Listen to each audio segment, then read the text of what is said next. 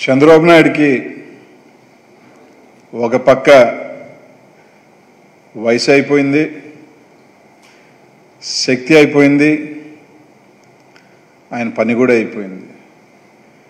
చంద్రబాబు నాయుడు కల్లా మిగిలిందల్లా ఇప్పుడు ఆయన చేసిన పాపాలకి వెన్నుపోట్లకి దుర్మార్గాలకి ఇంకా పాప పరిహారం చెల్లించాల్సిన టైం మాత్రమే మిగిలి ఉంది. ఈ మధ్యకాలంలో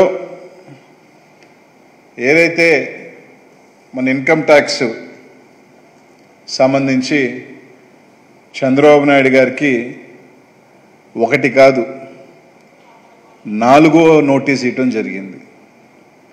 ఏంటి ఆ నోటీస్ అంటే రెండు వేల పద్నాలుగు రెండు వేల పంతొమ్మిది ముఖ్యమంత్రిగా చంద్రబాబు నాయుడు ఉన్నప్పుడు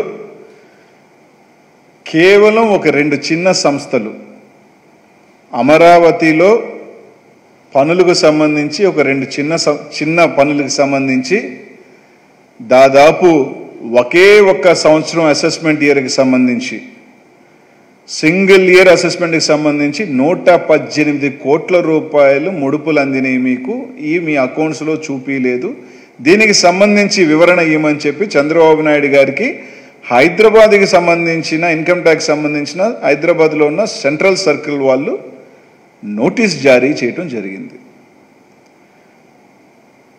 దాదాపు ఏదైతే వాళ్ళు గతంలో మనోజ్ వాసుదేవ్ అనే అతన్ని తనిఖీలు చేస్తుంటే ఆ తనిఖీల్లో భాగంగా ఎవరైతే ఈ మనోజ్ వాసుదేవ్ షాపూర్జీ పల్లోంజీలో ఒక ప్రతినిధిగా పనిచేస్తూ దానికి సంబంధించి లావాదేవీల్లో ఆయన ఉన్న ఈమెయిల్స్ కానీ ఆయన దగ్గర ఉన్న చాట్స్ ద్వారా తీగలాగితే డొంక కదిలినట్టు డొంకలాగితే మొత్తం కదిలినట్టుగా వాళ్ళ ఈమెయిల్స్లో చాట్స్లో చంద్రబాబు నాయుడు గారికి ఎప్పుడెప్పుడు డబ్బులు ఇచ్చాం? ఎంతెంత డబ్బులు ఇచ్చాం? ఎవరి ద్వారా డబ్బులు ఇచ్చాం? ఎలా డబ్బులు ఇచ్చాం? అని పూర్తిగా దాదాపు నూట పద్దెనిమిది కోట్ల రూపాయలు డబ్బులు తేలితే దానికి సంబంధించి చంద్రబాబు నాయుడు గారికి ఒక లేఖ రాయటం జరిగింది. ఇన్కమ్ ట్యాక్స్ వాళ్ళు దానికి సంబంధించి వివరణ అడగటం జరిగింది. ఏ విధంగా చంద్రబాబు నాయుడు గారికి ఈ కంపెనీల ద్వారా డబ్బులు ముట్టాయి? ఏదైతే ఈ మనోజ్ వాసుదేవ్ అనే వ్యక్తి చంద్రబాబు నాయుడు గారి పిఏగా ఉన్న శ్రీనివాస్ ద్వారా పరిచయమై ఆ శ్రీనివాస్ ఎవరో కాదు రెండు వేల ఇరవైలో ఆయన మీద ఇన్కమ్ ట్యాక్స్ ఇస్తే దాదాపు రెండు వేల కోట్ల రూపాయలు ఆస్తి సమకూర్చున్నాడని చెప్పి ఇన్కమ్ ట్యాక్స్ వాళ్ళే ధృవీకరించడం జరిగింది. ఎవరైతే చంద్రబాబు నాయుడు గారి పిఏ శ్రీనివాస్ అనేవారు.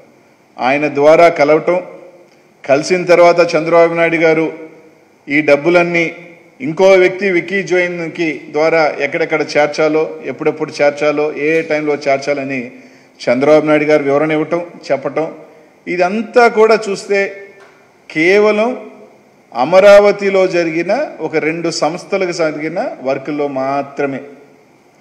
ఇదే నిజంగా ఇన్కమ్ ట్యాక్స్ వాళ్ళు గత ఐదు సంవత్సరాలకు సంబంధించి ఈ రాష్ట్రంలో జరిగిన లావాదేవీలు కానీ ఈ రాష్ట్రంలో జరిగిన వర్కులు కానీ ఈ అమరావతి పేరు మీద రైతులు ముందు పెట్టి ఆ అమరావతి క్యాపిటల్ అనే పేరు మీద వెనక జరిగిన భూదందాలు కానీ లేకపోతే జరిగిన మొత్తం వ్యవహారం కానీ ఎవరు అన్ని కానీ చూస్తే దాదాపు కొన్ని వేల కోట్ల రూపాయల దోపిడీ ధనం ఈరోజు బయటకు వచ్చే పరిస్థితి చంద్రబాబు నాయుడు మీద తెలుస్తుంది.